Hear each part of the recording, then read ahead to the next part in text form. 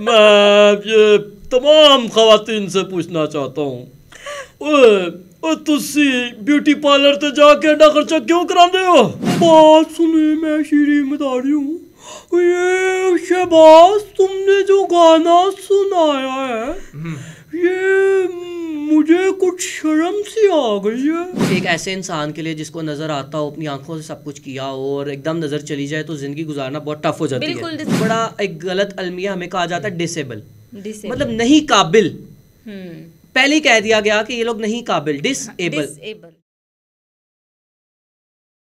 अस्सलाम वालेकुम 89 न्यूज़ के साथ मैं हूँ सोनिया खान। नाजरीन, मेरे साथ मौजूद है हिम्मत और हौसले की पहचान दो बासलाहियत नौजवान, जिन्होंने अपनी ज़िंदगी में बड़े नशीबो फराज देखे। वैसे तो ये ब्लाइंड है, लेकिन खुदावंद करीम ने इनको बहुत सारी सलाहियतों से नवाजा हुआ है। वो तो चल के आगे आपको प्रोग्राम में पता चल जाएगा। इन दोनों से बातचीत करते हैं और पूछते हैं कि इसके अलावा इनमें क्या क्या खूबियाँ हैं, क्योंकि ये पोइट भी हैं एंकर भी हैं एक्टर भी हैं, उसके अलावा वेल ग्रेजुएट भी हैं, सारी चीज़ें इनसे जानते हैं कि एक ही टाइम में कैसे मैनेज कर रहे हैं। एक नॉर्मल इंसान के लिए सारी चीज़ों को मैनेज करना और इस दुनिया को सर्वाइव करना बड़ा मुश्किल है। तो ये तो फिर ब्लाइंड है। अस्सलाम वालेकुम वालेकुम सलाम अस्सलाम वालेकुम वालेकुम कैसे हैं अल्लाह आप का करम आप सुनाए। बहुत अच्छे हैं। बिल्कुल आपकी तरह जिस तरह आपके अच्छे अच्छे प्रोग्राम्स होते हैं मैं तो आपको बड़ा फॉलो करता हूँ। जजाकल्ला खैर। मुझे ये बताएँ कि कुछ क्वालिटीज़ तो मैंने आपकी बता दी है। इसके अलावा आप क्या क्या डबिंग वगैरह भी करते हैं? सियासतदानों की मिमिक्री भी करते हैं? क्या क्या करते हैं? ज़रा बताइएगा। हाँ जी बिल्कुल ऐसे है। हम लोग डबिंग भी करते हैं। मैं कार्टून डब भी करता हूँ मिमिक्री भी करता हूँ। इसके अलावा अल्हम्दुलिल्लाह एम फिल किया है मैंने रिसेंटली और इसके अलावा मैं स्टेज होस्टिंग भी करता हूँ। म्यूजिशियन भी हूँ। हम बड़ी अहम चीज़ तो भूल गए। आपका नाम? मुदस्सर शहजाद। मुदसर शहजाद। आपका नाम? मेरा नाम नाम साद मुस्तफ़ा है साद मुस्तफ़ा सब कुछ है। कर लेते हैं हम और बिल्कुल जैसे मुदसर ने बताया मैंने मीडिया पढ़ा है और अब मीडिया में नाम बनाने के लिए कुछ भी कर लेंगे। एक्चुअली वही मैंने कहा ना कि नाम में क्या रखा है मेरी जान? आते हैं सीधा काम की तरफ़। आ, तो अगर आप इजाज़त देंगे तो हम आपको ज़रूर अपना वो कहते हैं ना कि अपनी सी डेडी खोल दांगे ताड़े अगे आठ आठ दी ज़रूर ज़रूर। स्टार्ट कीजिएगा हाँ जी तो सबसे पहले सबकी हाँ हो ठीक है। मेरी बात सुनो। मैं आपसे कहना चाहता हूँ सोनिया। आप इतनी प्यारी क्यों है? मैं ये तमाम खातन से पूछना चाहता हूँ। तुसी ब्यूटी पार्लर ते जाके एडा खर्चा क्यों करांदे हो? ये अ, क्या बात है जी क्या बात ये है? अ, ये सोनिया ये अडियाला जेल से सीधा उठ के अ, कुछ और ही करने आ गए हैं। ये तो हमारा हक था ये बात करते हैं साद मुस्तफ़ा अब इनके आप ना रिप्लाई में कुछ हमें भी सुनाए ना पता चले कि आप भी बड़े टैलेंटेड पर्सन हैं। मुदस्सिर आप बताएँ हम किसकी नकल उतार रहे थे? मैं मैं मेरी बात सुनो तुम। ओए ओए शबाज शरीफ! ये कह दी आठ सौ चार की। मैं नहीं नहीं कह दी आठ सौ चार नहीं है आठ सौ बारह कह दी है। आठ सौ बारह हाँ जी आठ सौ बारह। और पहले फिर चार सौ बीस भी हो जाएँगे। मेरी बात सुनो मेरी मेरी बात सुनो। मुझे बोलने का मौका दिया जाए। आप इतनी ये मेरी बात सुनो शबाज जब बड़े बोल रहे हो छोटे चुप रहते हैं। देखें सोनिया क्या बात है जी क्या मेरा है। पैगाम है नौजवान को पाकिस्तानियों तानु की हो गया। आप निकलते हैं अपने मुल्क को नुकसान पहुँचा रहे हैं। ये मुल्क हमारा है। और इसकी कदर करें कदर करें। एक दूसरे के साथ प्यार से पेश आए। क्या बात है। और मैं अब सोनिया चलता हूँ। इसके अलावा अब शबाज जी मैं- मैं मैम सोनिया एक अदबाना गुजारिश करना चाहता हूँ कि ये जो हमारे अडियाला जेल के मुसाफिर हैं इनको मैं गाना डेडिकेट करूँगा और मैडम को भी करूँगा। वो ये है कि चोरा लिया है दिल तो तुमने। जेल में अब खाना भी खा लेना सनम बात सुनिए मैं श्री मदारी हूँ। ये शहबाज तुमने जो गाना सुनाया है हम्म, ये मुझे कुछ शर्म सी आ गई है। ये गाना आ, आपके लिए नहीं था ये उन नौजवानों के लिए था जो टकने मारते हैं। चलो अब तुम जाओ किसी और को बुलाओ। अच्छा साद एंड मुदसर मुझे ये बताएँ कि सोसाइटी में बड़ी चीज़ें फेस करनी पड़ती है स्पेशल बच्चों को। बड़ा कुछ फेस किया होगा आप लोगों ने।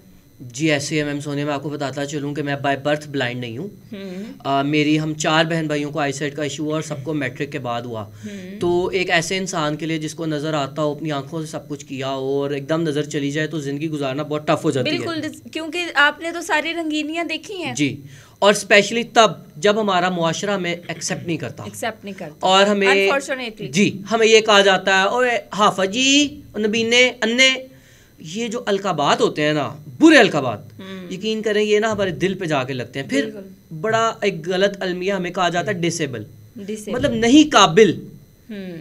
पहले ही कह दिया गया कि ये लोग नहीं काबिल डिसेबल मैं कहता हूँ कि डिसेबल नहीं कहना चाहिए। आप हमें स्पेशल पर्सन कह सकते हैं बल्कि हम आँखें ना होने के बावजूद आपसे भी अच्छा काम कर सकते हैं तो आपको तो हमें डबल एबल कहना चाहिए। बिल्कुल ऐसे ही। है। आप क्या कहना चाहेंगे मैं ये कहना चाहूँगा बड़ी इन्होंने अजीब व गरीब सी एक टर्मिनोलॉजी बताई माशरे की हम्म। कि डिसेबल का जो मतलब है थोड़ा सा मैं बताया तो डिसेबल का मतलब ये नहीं है। डिसेबल का मतलब है कुछ ना करने जोगा यानी कुछ भी नहीं कर सकता वो बंदा। हम्म।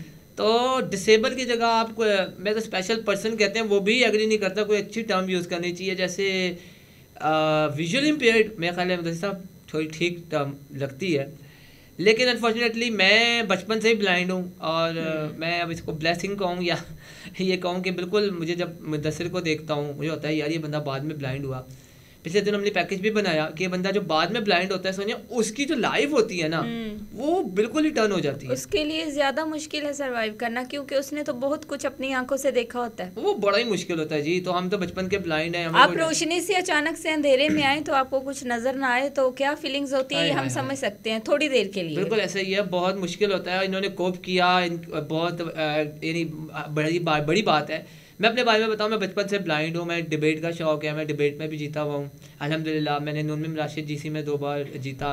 उसके अलावा मैं जैसे ये करते हैं कंपेयरिंग मैंने भी कंपेयरिंग की है म्यूज़िक सोसाइटी में names that is GC university में। okay. और अनफॉर्चुनेटली या फॉर्चुनेट कहूँगा मैं 150 साल सालगिरह जिस यूनिवर्सिटी में जब हुई थी उस फ़ंक्शन में भी मौजूद था और आई एम वेरी ब्लेस कि उस फ़ंक्शन में भी मुझे कंपेयरिंग करने का मौका मिला।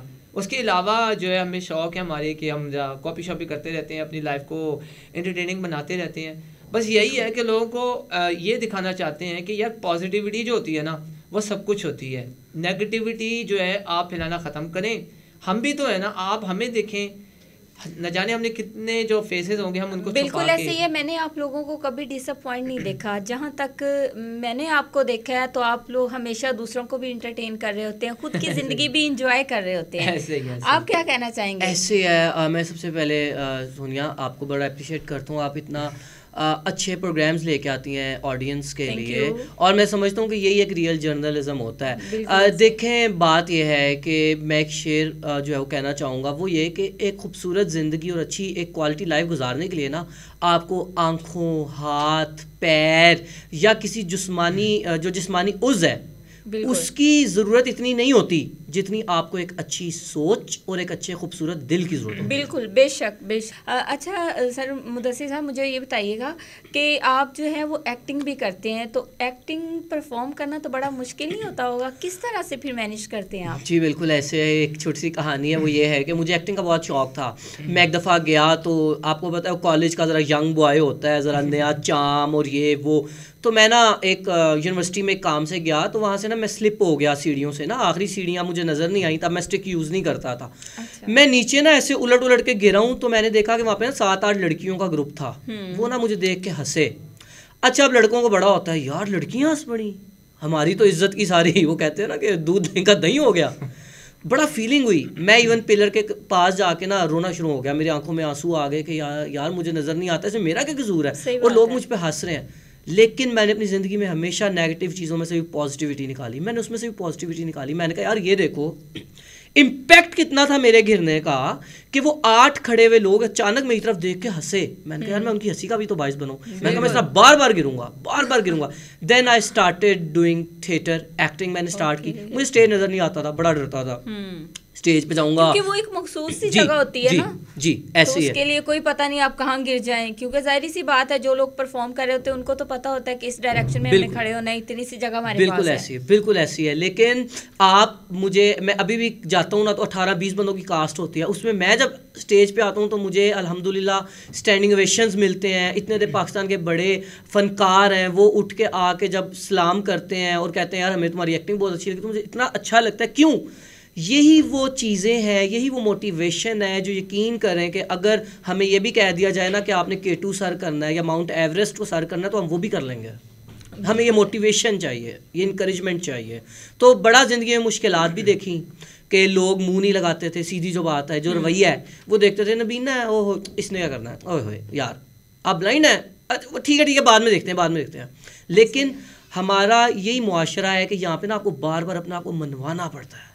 अच्छा साद एंड मुदस्सिर मुझे ये बताएँ कि क्या मिशन है अब आपका? क्या विजन है? मुस्तकबिल के लिए क्या सोचा हुआ है आपने?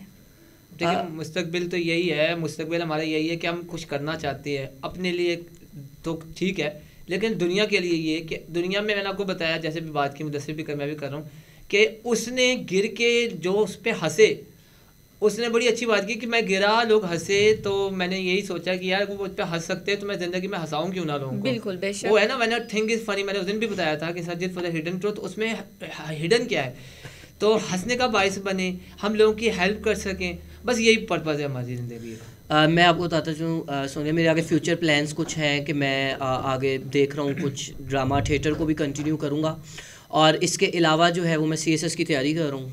I wants to be a commissioner जैसा मेरे बड़े भाई अभी पाकिस्तान की हिस्ट्री के पहले असिस्टेंट कमिश्नर एलोकेट हुए हैं ही इज़ आल्सो ब्लाइंड तो अब वो हमारे लिए सोर्स ऑफ़ इंस्पायरेशन भी हैं। हम खुद भी सीएसएस की तैयारी कर रहे हैं कि हम भी वो मुकाबले का इम्तिहान दे के हम भी कमिश्नर बने। कमिश्नर बनने के पीछे मकसद वो नहीं है कि हमें भी वीगो डाला मिलेगा पुलिस हमारे आगे पीछे होगी हमें भी वो एक लाइफ जो एक अलीड क्लास होता है हम उसमें शिफ्ट हो जाएँगे। नहीं हमारा मकसद ये नहीं है। और हर इंसान का मकसद ज़िंदगी में ज़्यादा पैसा होने से आपकी ज़िंदगी अच्छी नहीं होती है। बिल्कुल ऐसे ही है। एक खूबसूरत घर ज़रूरत ज़रूर है आपकी रहना एक घर लेकिन वो एक कमरे वाला घर भी हो सकता है। अगर आपने सुकून लेना है ना तो वो सुकून एक कमरे वाले घर में भी है।